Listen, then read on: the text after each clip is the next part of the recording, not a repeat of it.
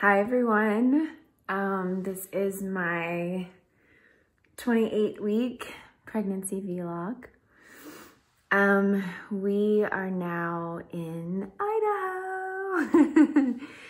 um, I'm really excited. It's been beautiful. It's been about a week and a half that we've been here now.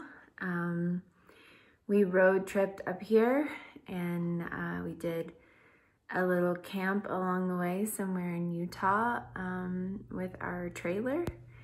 And uh, it was and it was great. Um, the kids loved stopping at the campsite. There was cottonwood trees um, everywhere. So for those of us who have allergies which I have um, there it looked like it was snowing and so the kids were like, this is amazing.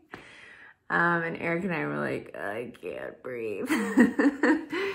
but um, it was great. It was wonderful. And um, we're just so uh, grateful to be up in Idaho where we come every summer. And, um, and I have been, funny enough, I've been pregnant around the same time, each time that I've been pregnant. And each summer um, of that pregnancy, we come to Idaho. So I'm excited to um, be able to be here and kind of have a different pace of life and, um, you know, spend some quality time with the kids and my husband before our new little baby is born.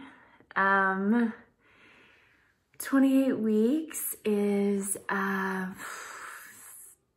I mean, it's different in some ways because, um, you know, the last time I talked to you, I think I was at 25 weeks and um, my body is definitely feeling pregnancy when I sleep at night. When I was sleeping in the trailer, um, I sleep, but I have to get up like three or four times a night to go pee. And I was just reading something where the doctor said if that's happening to you, that's normal. But there's, if you lift your belly when you're peeing, um, it takes the pressure off of your bladder and then you can um, fully empty your bladder. I don't know. I haven't tried it yet, but it's a good idea. Um, when I sleep at night though, my hips are killing me. So um, I'm gonna be doing a little research over the next couple of weeks and see if there's something that I can do um, to help alleviate some of that pain because I have this amazing body pillow I got through Sprout San Francisco, this store that's um, awesome and everything's chemical free and um, wonderful. And um, the pillow is super comfy and it's the perfect size. Um, but my pressure on my hip from the weight and then the belly, I think pulling down from laying on my side is pretty intense. So it'll wake me up and then I'll just switch to the other side and then fall back asleep. And sometimes if it's too much, then um, I stay up a little bit longer and you know, it's, I get tired. I mean, it's the morning here right now and I definitely didn't sleep amazing last night. So um, it's raining here today. And um, the funny thing about the rain is that in Los Angeles, we don't get a lot of rain. So the kids were like, can we put on our rain boots and go play outside? um, so it's really cute. They're like having a full muddy rain experience right now. Um, but you know, it's, it was interesting. Like I was worried about, I usually fly when we come up here and fly with the kids. And I was a little worried about just the 17 hours of driving and what that would be like. And it was um, so much more relaxed than I thought it was going to be. I mean, my kids were still doing homeschool um, on our drive. So they had to check in on their, um, with their like class and, you know, they had like two more days of school left.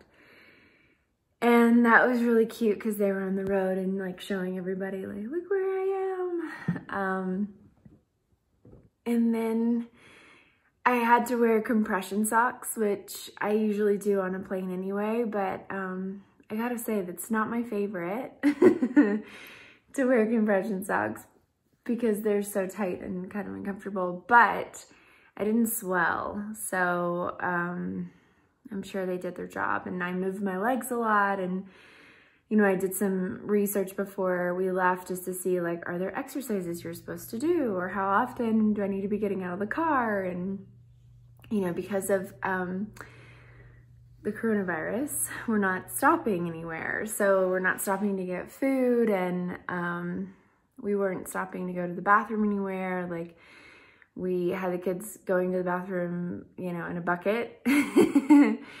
and we had we were pulling our trailer so we could pee in our trailer if we needed to.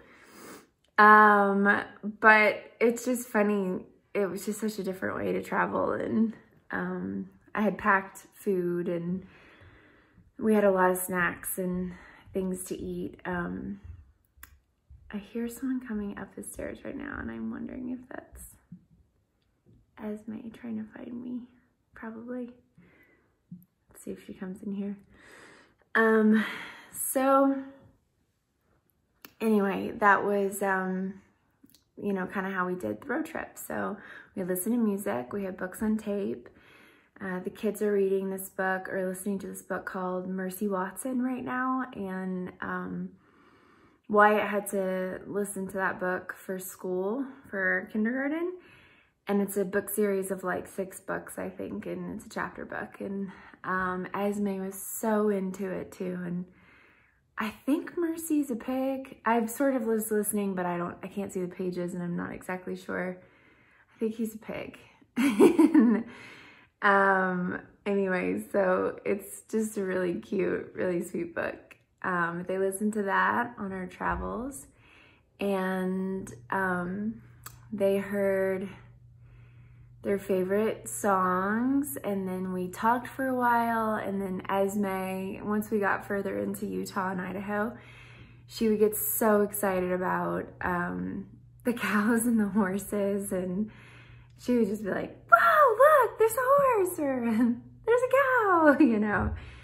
And uh, it would crack me up because I grew up in Kentucky, so that's just kind of my neighbors were cows, you know, and horses. And um, I love that she was so into that. It was really cute. Um, so I think the weirdest part for me with the pregnancy is that I'm going to be up here now for a while and I'm not really going to be checking in with them.